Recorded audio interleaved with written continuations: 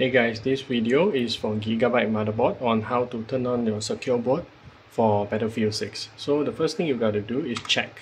So go to system, type in system information and then you can see uh, here secure boot state mine is on if yours is off we restart to our BIOS so to restart the BIOS just simply go to your Windows click restart and let your PC restart. So when it's restarting you gotta press the delete or F2 key until you enter the BIOS. So mine is restarting right now so I'll be pressing the delete key to enter BIOS. So once you're at the BIOS uh, I hope yours is the same as mine. Mine is a Gigabyte X570 so if yours is roughly the same you can follow this guide. So what you're gonna do you're gonna go into boot at boot first you need to disable your CSM support.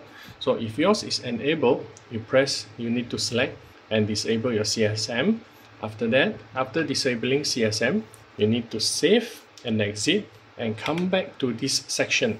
And after that you will see this secure boot option available. Because if your CSM is enabled you won't be seeing your secure boot. So you gotta disable your CSM come back to your secure boot enter.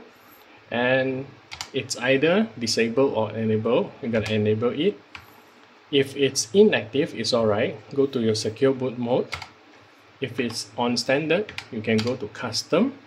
After that restore your factory keys. Okay you can press yes. Reset without saving. I would press no first. And enter the expert key management. Here you gotta restore your factory keys again. So you can restore factory keys press yes reset without saving press yes. So you have done this part. Your secure boot should be enabled. And then we will be going back into windows to check. Alright I'm now back into my windows. I'll go back to my system information to check on my secure boot settings. Okay. And it should be on. And there you have it. Now you can play your battlefield 6